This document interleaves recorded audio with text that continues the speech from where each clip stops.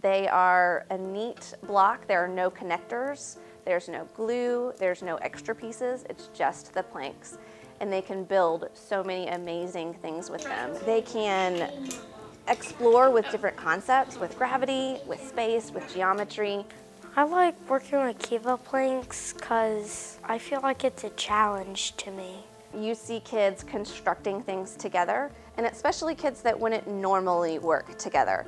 Um, and they're creating these elaborate um, universes, and um, they're creating cities and buildings. When you work with others, it's easier to make it and you can make it faster.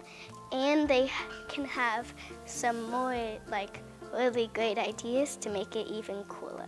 The creativity, I think, is the biggest benefit um, because they can really make whatever their imagination um, can see.